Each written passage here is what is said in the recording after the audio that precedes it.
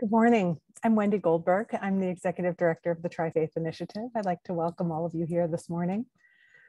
Um, what a joy for us to um, come together to be uh, vulnerable. I think that's a bit of what the world is asking of us, um, but also to realize that there is an intersection between um, science, mental health, vulnerability, faith, and that um, we're going to explore those intersections today. Um, I'll be really honest. I am about uh, three hours in to um, stepping my foot back in from a week's vacation. If you haven't done that recently, I suggest that that be something you consider um, to fill your bucket.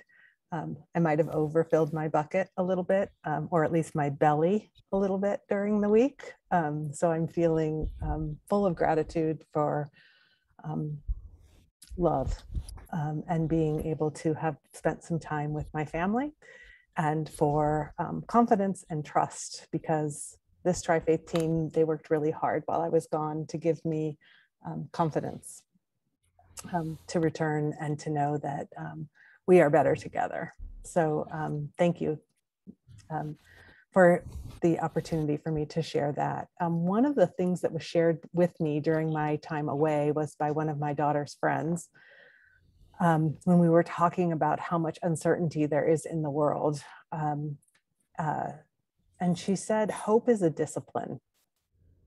Mm. Um, and I think that um, information is helpful for us as we're trying to build a discipline of hope. And so I'm excited that we have a guest here today who has thought hard about um, living a life to um, advance um, our understanding of how our thoughts impact our physical being. And we're going to learn a little more about him um, today. Um, and I'm terrible at phonics. So um, Roy, tell us how to say your last name and how you would like to be called. Uh, Roy or Father Roy is uh, in this group. Roy is very much fine. Uh, and just a minute, I I've changed my room because the Wi-Fi I was not sure whether it was from my end. Well, it's so, nice of us to get a tour. you had a tour of LMU, yeah. Okay, so uh, take a Roy breath. Pereira. Okay, so for, for this for this gathering, Roy is fine. Uh, but even uh, like my students, I tell them, you know, you no need to call me Father Pereira. Father Roy is fine. But uh, truly, among us, uh, Roy is perfectly fine. Yeah. Thank you Thanks, for Wendy. joining us. Yes. So, um, in our conversation as we were planning this, first, first I would like to say that um, the idea of inviting this conversation came from our chair, um, Dr. Ali Khan. Um, he is a resource in so many ways. Um, and as the numbers of the pandemic have been growing, I reached out to him and said, um, I'm sure the audience would love to hear you again, but who, who, who do you think is doing good work um, that might be a good speaker? And he put me in touch with Father uh, Roy. So thank you um, for that.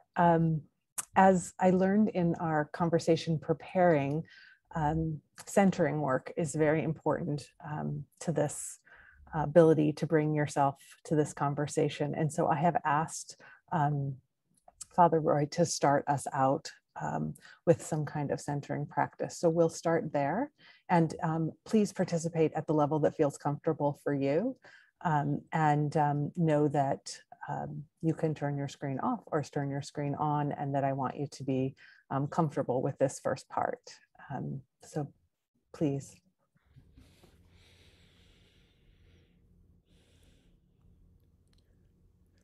Thank you, Wendy. Yes. I invite you to take a posture which is comfortable to you. Uh, and the best one is that which makes our spine erect. But it has need not be where you're stiff, okay, as long as you keep your spine erect and then your legs can be in whichever position. I know some people find it very centering to have the legs folded, uh, but that does not matter. As long as our spines are erect, uh, it helps us to focus better. and your hands can be either placed in your on your laps as a gesture of openness or you can even join the fingertips whichever works for you so feel comfortable and uh, now very soon i will be inviting you to uh, close your eyes a little later but just to give you a brief background uh, we are people gathered here from different faiths and uh, all of us share the common heritage of the uh, whether we are from Judaism or Christianity or from Islam. Uh, we have our common roots in the uh, readings of the Old Testament. So, the word that I'd like to focus on is the word ruah, which is a Hebrew word which means uh, breath. And Coincidentally, though I prefer to use the word spirit incidentally, the word ruah breath also has the meaning of spirit. So when God breathed life into Adam, our forefather, so it was the breath of life. So you can see this dual meaning of this beautiful Hebrew word ruah, which is breath, which is our breathing, but also life and spirit. So it's the same word that the our Hebrew ancestors used for both, and it makes perfect sense because after all, breath is life, breath is spirit. That's the main difference between a corpse and someone who is alive. And so, what we are going to do during the short meditation is to choose the breath as our focus of attention. For meditation, you could choose a lot of things, but for this meditation today, I invite you to choose your breath. And this ties in also with the great uh, Indian Buddhist tradition of Vipassana, where we focus on our breath. So we see the coming together of various religions. I invite you now to close your eyes and take three or four deep breaths. And as you breathe in, just breathe out as if you are sighing. Breathe in and breathe out. Breathe in and breathe out.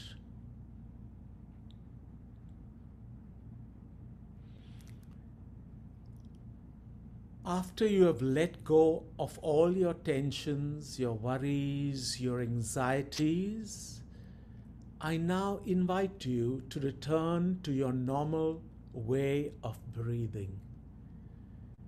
Whatever it is, don't try to force a long breath or a short breath. Just be in the present moment as your body invites you to breathe.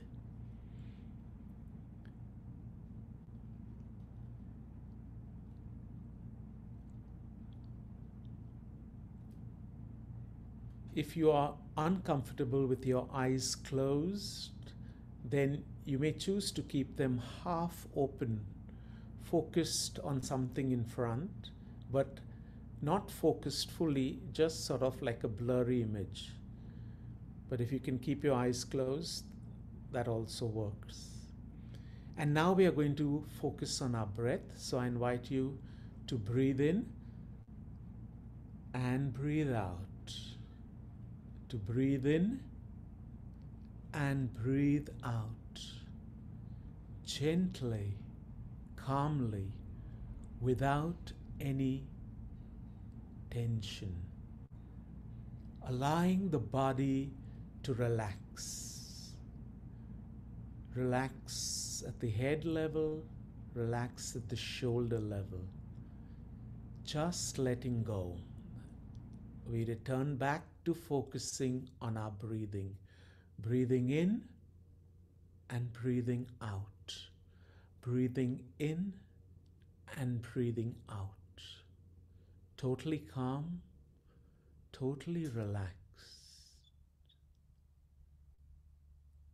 If it helps you, may, you may choose to focus more intensely on the area around the nostrils where the breath enters the body. Breathing in and breathing out. our full attention is on the fact of breathing.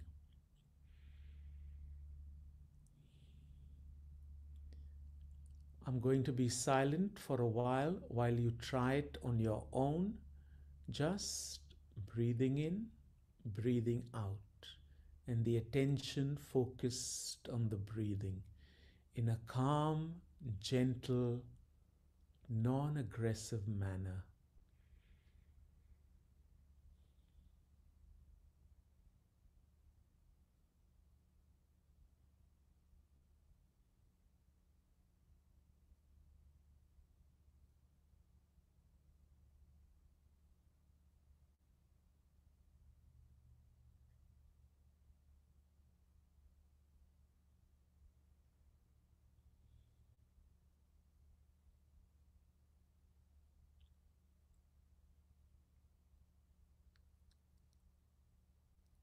If you suddenly find that you have a distractive thought, gently bring your awareness back to breathing. Don't scold yourself. Don't get irritated. Know that it is the nature of the mind to want to wander. That is us. That is our mind. And so, all we need do as soon as we become aware, just focus back on your breathing. Breathing in and breathing out. Breathing in and breathing out. Gently, calmly, totally relaxed, totally calm our attention fully on our breathing.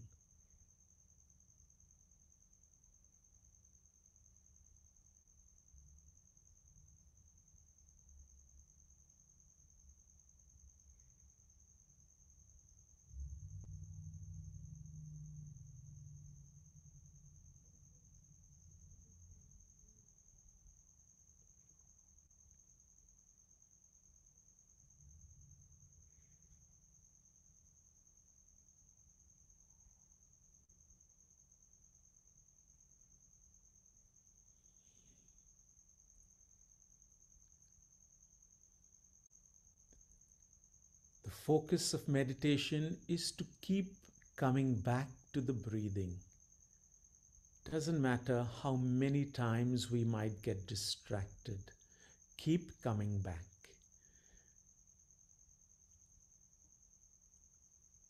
We will take one more minute to focus on our breathing before we end this meditation session. So I invite you once again to focus on your breathing, breathing in and breathing out at your own pace in a relaxed manner, totally calm, totally relaxed.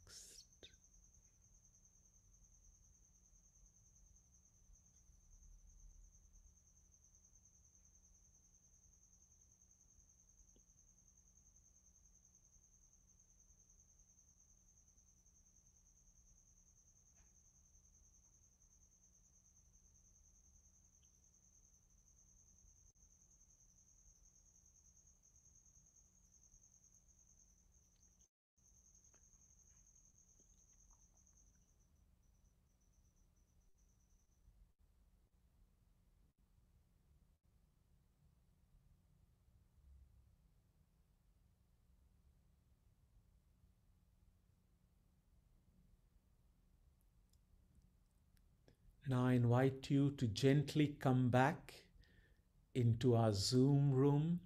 Open your eyes whenever you feel comfortable and let us come back to the space in this room where we reverence one another calmly, gently.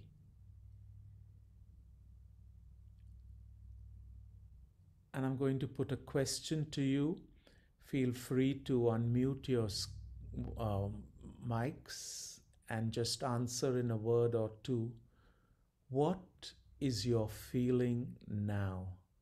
How do you feel now? You're allowed to feel shy for 30 seconds. you can put your answer in the chat too if you prefer.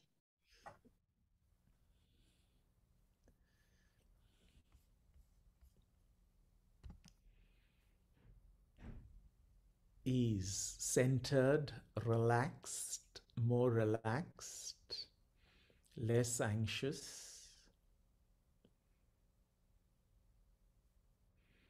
Thank you. Thank you, everybody. You can keep putting your answers in the chat, but yes, uh, even when we have looked at meditation uh, during research time, we get these responses. And obviously, that is the benefit of doing a meditation. And as you can see, it's something that you can do anywhere during the day, even when you're sitting at your desk. Just take a few minutes for yourself few minutes of self care to center yourselves, especially during stressful moments. I now hand over to Wendy. Thank you. So, first, I'd love to learn a little bit more about you or invite the audience to learn a little bit more about you. Um, but let's start with um, a question that I hope we ask each other more often How are you today? I'm good. I'm excited to be here and I feel so blessed to be among you. Uh, it's a little ironic that all the time I was Omaha, we didn't get to meet, and now that I've come way south, but that's life, okay? And uh, we're always happy whenever to meet again once more, either in Omaha or in some other place. But yes, yeah. I'm good. The, and how the magic of, of Zoom. Thank you. So tell us about your connection to faith. Uh, so um, I'm, I'm going to start by specifically speaking about a little bit of my more consciousness of faith. So I've, I've grown up as a Catholic, and uh, as most of you know, we grew up in a religion, but the specific moment, or what we call the kairos moment when I was more aware of my faith was towards the end of my graduation when I was thinking of, okay, what am I going to do next? You know, get into some business, do an MBA, do this, do that. And suddenly this little voice kept coming up saying, you know, join the Jesuits. And I was like, what? And I just kept pushing it aside because I never considered myself to be you know, a holy guy, a pious guy. I would attend Sunday Mass, and, you know, that was it. We did the normal prayers, but it was, I didn't, I was never an altar server in church. I was never one of the churchly, you know, boys. So I kept pushing this thought away, and it kept coming. And I kept telling God, You've got the wrong number obviously this dates me to the time when we actually had those phones and no mobile phones and i'm sure those of you who are my generation will know that wrong numbers were pretty common so i kept telling god you've got the wrong number because by then also i was already involved in theater with music singing dancing and i didn't that didn't fit the idea of being a priest so but you know the voice doesn't stop and then finally to make a long story short, I had to discern, and then I decided to give it a try. I said, if God wants me to be a Jesuit, fine. Uh, you know, I'm going to make the leap of faith. And that's how I entered the Jesuit. And that was 34 years ago. So that's my connection to faith. Thank you. Um, what might surprise us about what it was like to be raised as in a Christian family in India? So, uh, uh, in India, the Christians are 2% of the population, so a very small minority. Um, but uh, Christianity has existed in India right from, so we have three movements of Christianity. Uh, so it is believed that Saint Thomas the Apostle came across Syria into India, especially the area of Kerala, and that's where we have the first group of Christians, often referred to as Syrian Christians, and they have been around for 2,000 years. Uh, the second group of Christians was around the uh, 16th century when uh, uh, Vasco da Gama and all the uh, the traders started coming in, and with the traders also the missionaries came in. And so, therefore, as you can see, a lot of us during that time have Portuguese surnames like mine, Pereira or Fernandes or De Souza or Gonzalez. So, especially in the area of uh, Western, Southern India, Goa, and a few other places, a lot of conversions took place during that time. And so, my ancestry to Christianity goes back around 500 years. And then, of course, the third phase was in the 19th century when Constant Lievens, a Belgian Jesuit, came to the central part of India and worked with the indigenous people. And we have a big group of Christians now from there. So, this is something that maybe people do not know about the three phases of Christianity, and that Christianity has been in India for as long as 2000 years. Thank you. So, you have this calling and this faith community. How did you get so engaged in science, neuroscience, physics, chemistry? So when I was in college, that was at St Xavier's College, Mumbai, uh, I I took uh, chemistry, physics, and maths as my first year, and then after I graduated with chemistry and physics. So that was something that uh, I was always interested on, and I did a little bit of these aptitude testing and they said yes you know i think you can go in for science. And that's how i became interested in science. But i did my msc in chemistry uh, and then i later on uh, when i joined the jesuits i was sent back to the same institute to teach. And i taught chemistry for about nine years before i was told by my provincial you better go and get a phd now. Uh, you seem to be too happy with yourself. Uh, but during the time of teaching, I think many of you know chemistry classes, whether in India or in, in US, because I know in Harvard also when I was uh, when I was at Boston College for my PhD, are huge, 120 to sometimes 150. And the students were coming and they were like very distracted because they've come in from four lectures and tired. And one day I just offered them two minutes of meditation. And after that, the whole class was quiet and they were just listening. So I realized, you know, instead of blaming them for being distracted, uh, this was a way where they could be centered. And after some days, they themselves asked me, you know, Father, can we do some meditation? So they realized the benefit of it. That got me thinking and so when it came time to do my PhD, I was already interested in the power of the mind and how the mind affects the body. And therefore, I opted to do it in the interdisciplinary areas of chemistry, neuroscience, and consciousness. And that's where I got my PhD from Boston College. So that's my interest in the mind, but also my dad. He had Parkinson's for many years, but he kept telling his hand, don't shake, don't shake, don't shake. And he lived with that for 30 years, you know, uh, died two years back at the ripe old age of 93. So the power of the mind has influenced me. And after I did my neuroscience course, I went back, started a neuroscience program, and I've been more in neuroscience uh, chemistry since then. So before we dive into your um, more prepared presentation, can you tell us where is the intersection between faith and neuroscience? Wow. Okay. So um, we've often heard the word blind faith. But uh, as you know, uh, in many religions and definitely in Christianity, we, we like to use the word faith seeking understanding. So it's not just blind faith, but a faith where we try to understand. And uh, in a sense, uh, neuroscience has given me the tools to understand the brain and how our faith works in the brain. Of course, with the advent of neuroscience, sometimes some people stretched it too far to say that, you know, uh, God is all in the head, or the whole thing of God's spot is in the head, and you know we can look at put uh, hook up someone to machines, and we will be able to find out where God is and where the where the meditation lies. Okay, uh, that is a very simplistic understanding, and I have a whole session on this separately, but.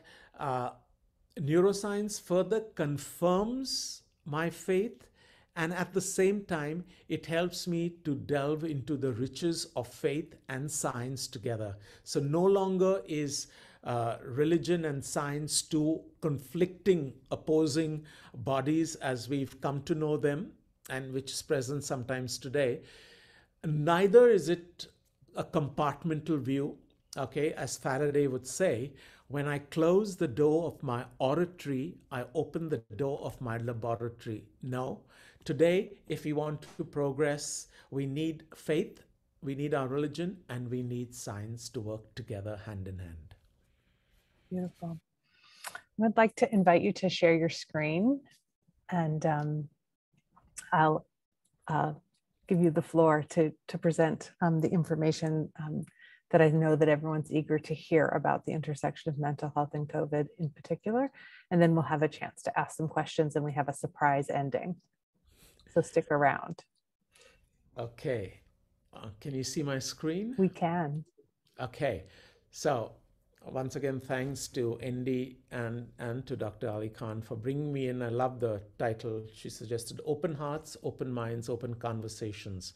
Now, zooming in more specifically to COVID and mental health, I think all of us know how the mind affects the body. You tell someone, raise your hand, okay, we think of it and we raise our hands, or there's an itch and we scratch it. We are aware of the numerous stressors in our lives, you know, even from traveling from our home to work. And uh, uh, the, the whole uh, daily stressors that we are faced to, whether it's work, whether we come home from work, okay, we are aware of that and we are aware how those stressors start playing a role in our lives. And whether it's exam stress, presentation stress, deadline stress, and how does it manifest itself? So, for a very long time, it was believed that, oh, stress is just in your head, and that someone will tell you, suck it up oh, it's just in your head. But more and more we are realizing, yes, it is in our head, but it is not only in the head. Stress manifests itself in the body in so many different ways, okay? And you see on the right side of the screen of how uh, there is a reduced perception of pain, increased blood pressure, heart attack, uh, increased blood sugar, and over time, it expresses itself in the body as you know, maybe uh, uh, ulcers in the stomach or constant back pain, lower back pain, shoulder pain, and all these other lifestyle diseases. So the mind affects the body. Okay, it's not just in the mind, it's not just psychological, it's not just a question of sucking it up, but it is actually affecting the body. Okay.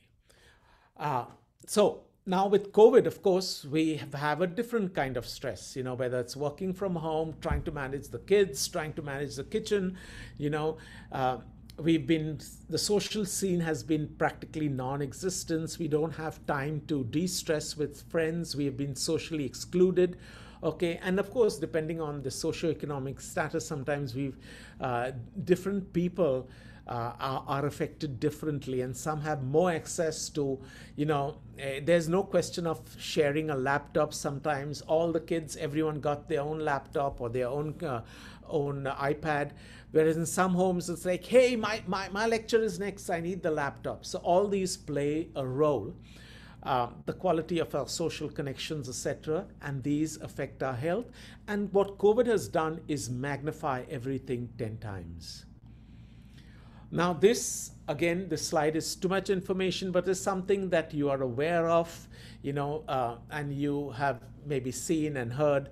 So the reactions that you may feel include fear and worry, uh, changes in sleep pattern, difficulty concentrating, worsening of chronic health problems, increased use of alcohol, tobacco, drugs, and of course, like in my case, it was increased use of food. So all of us, you know, speak, of course, jokingly about the uh, COVID bulge that we've put on, etc. And there are ways we can support ourselves, okay?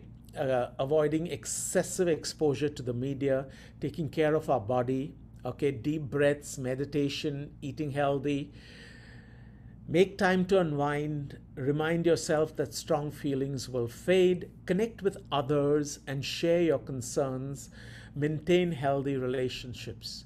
Now, these things also we may have heard, but sometimes during this time, we reach a time when we say, I don't even have the energy to do this. I know I need to do this. I know I need to do this at the head level. But sometimes I'm so exhausted, so tired, so frustrated that I don't do what I need to do. Okay.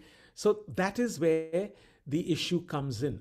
And this nice cartoon is like, you know, we've gone from SARS to the West Nile virus to the COVID 9 and this poor guy saying, Whatever happened to the common cold? You know, we wish we could go back to the days where, oh, I'm ready to take my flu vaccine and that's it. But this whole, all that is happening to us. And, you know, we earlier believed that maybe in two months, three months, four months, it would get over. We are now already 18 months and it doesn't seem to be getting over. So the sense of lethargy, the sense of giving up tends to come in. Okay, so how do we then bring about the behavior change where we can, like, you know, dig into ourselves, find the strength that we need?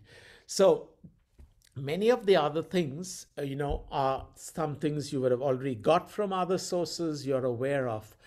Okay, what I've tried to show is that the mind does affect the body, and if your immune system is the way it takes the bears the brunt of the burden so today we know that even in the early stages of COVID, some would get it, some would not get it. And those who got it, again, there were there was it varied about how it affected you along a spectrum. You could get just sick for a couple of days, or you would go to the other extreme where you had to land up in hospital, land up on a ventilator, and sometimes that was the end of you.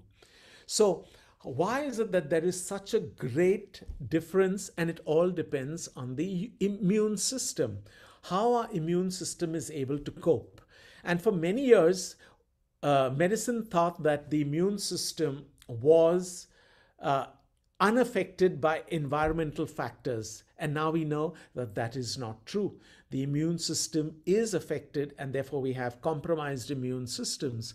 So even now, in this couple of months that we are going through, many of us are vaccinated, many of us are taking our precautions, but the new variant is coming in. So what can we do to really build up the immune system? Okay. And there are many things that uh, in terms of your exercise diet health etc that we mentioned but sometimes it's important to know that we still need to be able to get that impetus to do that. And for that, the first thing I would like to say is willpower. We all know about willpower. It can be exercised like a muscle, and but you can wear it out. So sometimes when COVID carries on over so many months, your willpower can slag. Okay. And therefore, it is important to know that willpower has a role, but willpower tends to plateau after a certain while. This is what neuroscience tells us.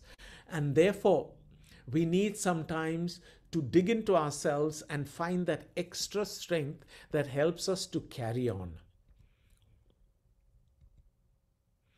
Okay, second, exercise. Now, again, exercise for many years we said okay you do physical exercise it's good for the body. Of course it's good for the body.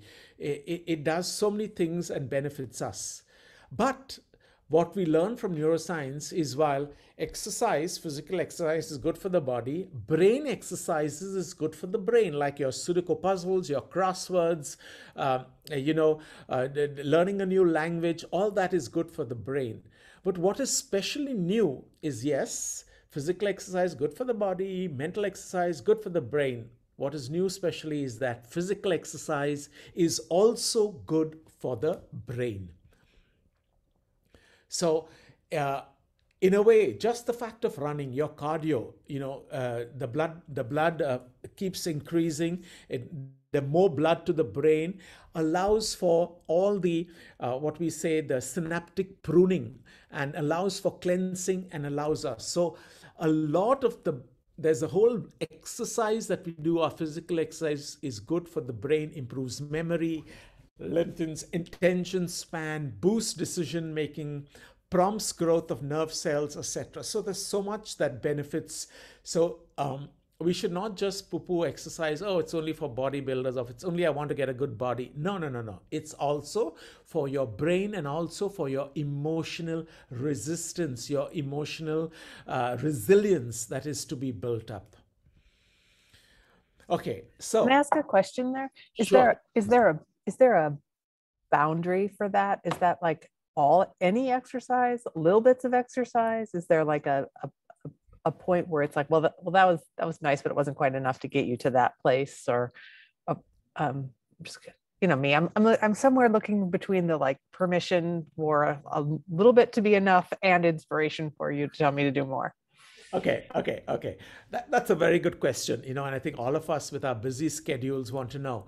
Now, the the the the uh, received wisdom is that at least uh, thrice a week, you know, uh, in whatever form that you want to do it, you know, just even cardio. Uh, but what is important is choose something that you enjoy doing. Okay, so uh, just because everyone's going for a walk, no, I love swimming, so maybe I'll, I'll go to the pool as long as the pools are open. Okay, so choose something that you love doing. Okay, I hate going for a walk, I hate swimming, but I love dancing. Okay, just put some music in your room. Okay, for half an hour, just dance, you know, no one's looking. You have the world to yourself. So choose something that is going to be sustainable. Otherwise, you're going to be adding one more burden in this COVID time to yourself, oh, I have to do an exercise. No. And if you like weights, fine. If you like yoga, so choose something that will help you. Basically, what they say is try to ramp up your heart rate so that the blood circulation reaches the brain and you you are able to get the benefits of the emotional. So uh, I'm sorry, Wendy. I'm not sure whether uh, I made you do more than, but yeah, let's say thrice a week. Beautiful. Thank you. Okay, and then maybe I'll just go quickly through this. So, step one what is the change that I want to bring? So, at this point in my life, okay, so place that thought in your mind, okay, uh, in religious terms, what is the grace that I seek from God, from my higher power, from whoever I believe in? So, uh, we have to keep repeatedly placing that change that we want to be. So, if, if I'm the person who I need to get more exercise, I need to place that in my mind, okay, and before going to bed, okay, look at uh, uh, how it is going to help me, and this is what I need to do, okay, and then again, for, to bring about change in our lives, we have to be clear about what it is so it cannot be fuzzy because then the brain gets confused okay? But if the brain has a clear focus you know like the magnifying glass then it is able to it's as if the universe the world god puts everything at your disposal and you're able to bring about the change. Frame it in the positive. Now if i'm going to talk about you know i want to give up smoking because cigarette smoking is bad for health that's not going to motivate you. And we know so many cigarette smokers who know that cigarette smoking. But okay, I want to frame it. I want to get a, I want to be active. I want my lungs to be pure. I want to fill myself with pure. So whatever you want to change, frame it in the positive. And of course, we know stay positive even during this time okay we are passing through a cloud maybe the the black clouds are longer than i want but stay positive write it down on paper on post-it on your cell phone on a free flashcards on bath. This is the change that i want to bring in my life during this time. Talk about it okay? Spiritual conversations not like uh, spiritual spiritual but this is something at the deep level where you can talk to a friend. You know hey this is what i'm going through. This is my difficulty and this is what i'm trying to do. So conversations very important believe you have already received the gift that you are asking for, or believe you have already made the behavior change. And a nice soundbite is fake it till you make it. So, you know, just, uh, okay, I already see myself having this nice six pack and I see myself reduced, you know, and I'm believing that. And believe me, it helps. So the belief that I'm already there is, is much more positive than, you know, thinking about the negative. And finally, of course, we all come from a religious tradition, even if you, uh, you don't, don't believe in some concrete organized religion, appeal to a higher power because that is also which helps the process. Okay, so now uh, we'll go the questions and then we'll come up to this song later on. Uh, or, or do you want me to just finish with the song because I'm afraid I might lose the yeah? Okay so the song is side by side. It's a very old song but i adapted it for covid. Side by side yes but six feet apart. Okay? But the, the beauty of the original song is speaks about our social relationships. And why i liked it for covid was you know we are going to get through this side by side, you know, holding each other's hands, wearing masks, getting vaccinated, helping one another in the process. We can do it. We can overcome COVID. We can fight COVID as long as we do it side by side. And it is with friends, family, with the whole country, with whole nations. Okay, enjoy. This classic by Patsy Cline, Side by Side is still relevant for us in today's times of COVID 19. As long as we stick together, help each other out, and stay side by side, we are going gonna see this through. Enjoy.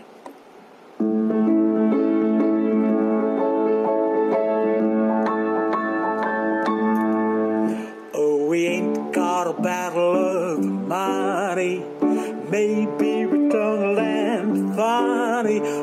traveling along, singing this song side by side. Don't know what's coming tomorrow. Maybe trouble and sorrow, but we're traveling along, singing our song side by side. Through all kinds of weather, what if the sky should fall? As long as we're together, it doesn't matter at all. Oh, we all had the quarrels and parted. We'll be the same as we started, just traveling along, singing our song side by side. Just traveling along, singing our song side by side, side by side. Do do do do do do. Side by side. Do do do do do do. Wait have for troubles and parted. We'll be the same as we started, just traveling along, side by side.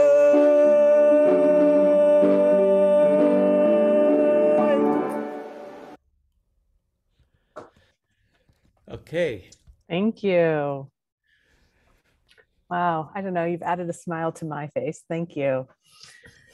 Oh, so um, we have a few minutes left to visit. I'd, I'd like to invite you to um, reflect on what we've learned or maybe already knew but needed to rehear today.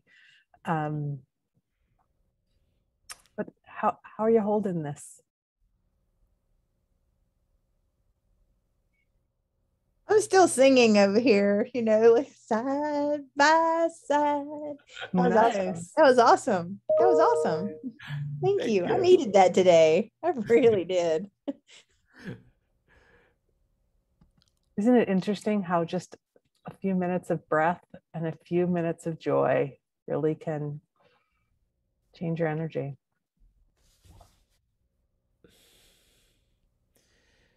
And yeah, I thank believe you. in it. I do. Connie, Thinking in terms of side by side too is just so important. And it, it can be six feet or through Zoom or whatever, but we've got each other and how grateful that makes me. look at you and Mark side by side there. Doesn't look like there's six feet there.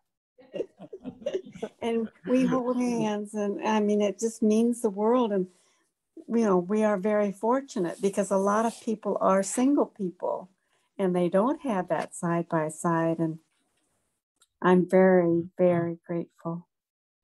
Thank you. Any questions for Father Roy?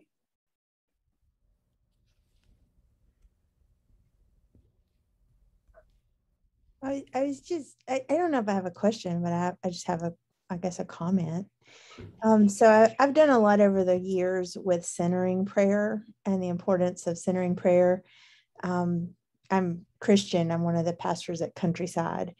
And um, so, hello, nice to meet you.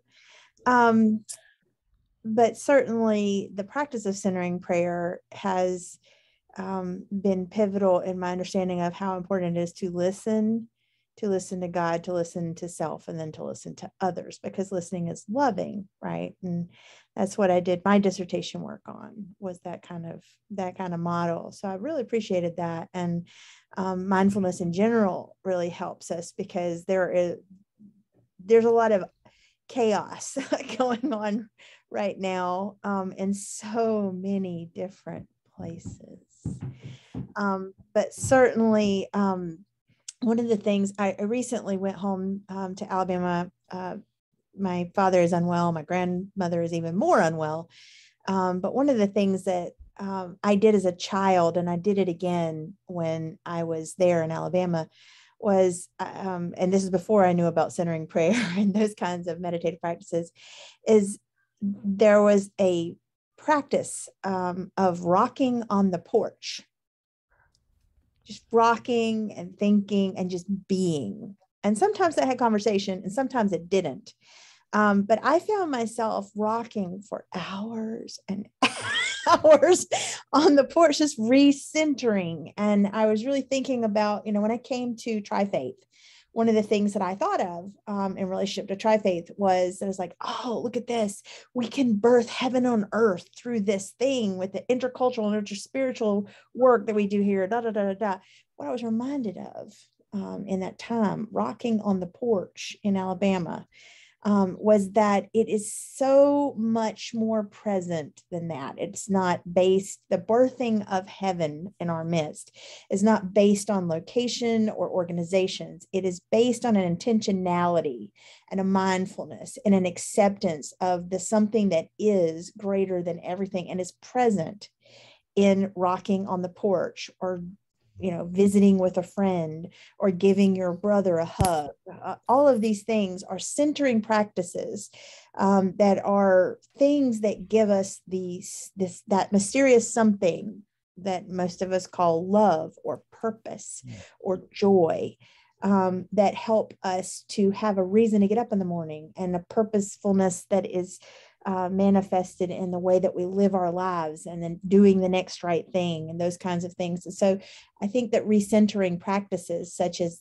that um, are very important, not just for our neurological health, our spiritual health, but also in terms of creating oneness. Because um, everybody gets that if they step back and think about that, regardless of religious practices, um, that there's something more um, that is manifested through our common humanity um, and the human experience as part of a greater creation. So those are just Thank my you. thoughts in terms of what you're saying.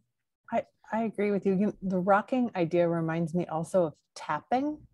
Um, I I have really found that there are times that um, when I can't quite feel the fake it till you make it stage, um, that even just doing um, some gentle tapping at, at any place in my body. Mm. It really is, whether it's just the consistency of it or the feeling of, you know, touching self. Um, it's calming for me. What about for others? Karen, I see you've been crochet, the, the fiber arts, whether it can, you know, is another thing they I've seen studies where they show that yarn itself and it moving through your hands does a lot with the centering that you talked about and it helped keep me focused on you know a presentation to have this yarn in my hand with the you know a stitch i know by rote i don't have to think about it i can just sit here hmm. pay attention otherwise my mind's wandering all over the internet not hearing. Thank you. So Karen, uh, just uh, neuroscience has this thing of uh, the mind uh, abhors a vacuum, the brain abhors a vacuum. It will always choose something to latch on. And uh, even when I'm doing the meditation, I always say our mind is like a thousand elephants gone wild in the jungle. And we know that, you know, we love to jump on one thought to the other. But uh, as you rightly said, crochet or, you know, rocking or uh, therefore when we are doing meditation earlier uh, gurus used to uh, the purpose of meditation is to keep your mind blank. No, no, no, no. That's not going to happen. So, because we know our mind cannot do that, we intentionally choose either breath or a painting or a sunset, you know, to we have to choose something and then the mind sort of anchors there and then you're able to focus on the talk or your studies or whatever this thing. So i think uh, i think all of you all have shared you know anna thanks for your sharing also wendy. Uh, a very important aspect. Now before i i just want to mention one more thing since you all did enjoy the uh, the, the the music. So mm, i invite you to there's a much longer talk on covid and immune system you know uh, which uh, as i said i loved wendy's uh, uh, the way she put today i said that's more like because i've given a lot of so they're all on youtube. And i would uh, if you have the time please go and visit my channel roy pereira sj but there's talks on immune system covid but also there's also fun pieces like piano and i do fun things at times. So uh, you're most welcome uh, please subscribe because you know that helps you to reach a certain number of subscribers and then i can broadcast live. Till now i cannot broadcast live because they want you to do a certain number of subscribers. But just putting it out there you know there's no monetary gain then you don't have to pay anything to subscribe in youtube. You just subscribe and you get that. But there's a lots available from my side and i'm happy to share it with you. Beautiful. Thank you.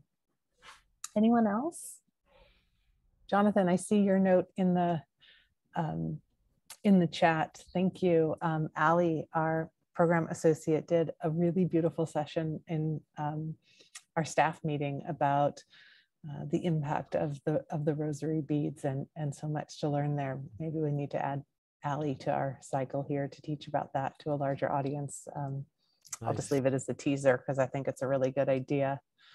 Um, Ali, do you do you may, maybe want to speak to if that is how you agree with Jonathan? Um, yeah, I think the the beads of the rosary can definitely help be like a centering thing and something to focus on, something to have in your hands while uh, you pray. Although personally, I think half the time if I'm praying the rosary, I'm just using my fingers, counting on those, because um, sometimes I don't have one with me. But uh, yeah, it's definitely helpful to have something physical and tactile uh, while doing a prayer that's as meditative and uh, that goes as deep for um, like 15 to 20 minutes, like the rosary.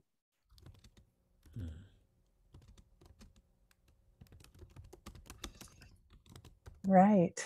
Well, um, I think we have a lot to um, carry forward from today. So uh, Father Roy, thank you so much for joining us. Um, I will add a survey um, in the link here. Um, we, as always, would love your feedback um, about today's session. And um, uh, I want to make sure that you know um, on September 11th is the 20th anniversary of the attacks and all of the uh, implications of that uh, historic day.